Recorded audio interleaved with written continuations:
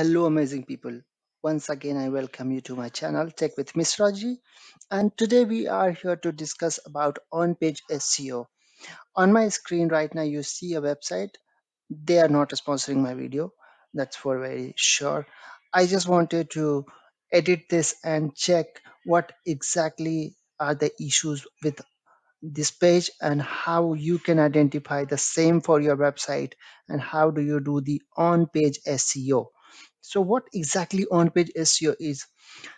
To define in a nutshell, I can say that on-page SEO is a, the activities, a sum of activities that you do to optimize your website to make it understandable to search engines.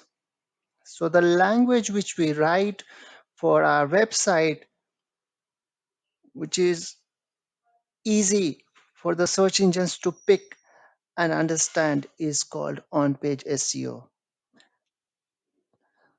So right now on your screen, if you look at this, I am going to use a tool called Meta SEO Inspector, and that's really helpful in doing the first step of on-page SEO and identify the bugs or issues that we have right now. So let's begin with this tool. It's added in my browser and right now it is checking the SEO check. So what we see is these are the issues. There are warnings, then there are many other issues. What we are going to achieve here is we are not going to focus on the canonical things and other stuff. See, there is again viewable thing is issue. So we will not look at that. We are starting from here and according to the latest SEO practices on the pages which we make, there should be a hierarchy of heading which should be followed and it should start with H1, H2, H3 and till H6 it can be. As you can see on this page, the structure of this heading is not appropriate. There is too many H1 tags and search engine do not like it. So on a single page, it is supposed to have one H1 tag not more than that. Then there could be subheadings like H2. Then there is again, you see the uh, hierarchy is broken. There should be H3, then H4. Then again, they have H2, then have H6. So H3 they expected, they found H6, then H4. Why this issue happens? The major reason for this is the font size. When the programmer designs a website, they decide the font size accordingly. And what happens is the search engine do not understand the hierarchy and they give less importance to this page. This is the landing page of a website. So the developer should know what exactly they have to do. You see in the anchor links, they have text or images.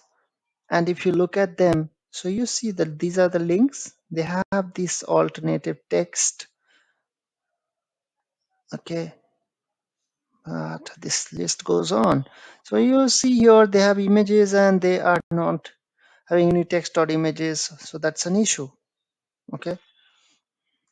Again you see here then there is missing alt tag or attribute for images. Alt tag are really important. Let's say this is the image and there is no alt tag. So what exactly happens is search engine do not read the images or text which is written over the images. They only understand the meaning of the image by looking at the alt attribute that is the alternate thing which helps in the search engine image identification as well as it helps in the the UGC guidelines to make the uh, user who cannot read but they can listen the website understand the images with alt attributes. So this is really a important information which is missing on the website. Then there are many other category which we will not look at. And that's it looks like that's it for this uh, on-page SEO plugin. But uh, in a nutshell, I, I, what I can say is any page that we make should have a title tag, a logo images with alt text, links, then the headings, headings in a hierarchy, then there should be images with all the alt and enough links for search engine to understand this whole page and this is it for now. If you have any queries or if you need any assistance for your on-page SEO activities, or if you want me to audit your website, just comment on this video and we might be able to connect and look at this thing. So for any business inquiries, do not hesitate to connect with me. Thank you so much for now. Have a nice day. We'll connect soon.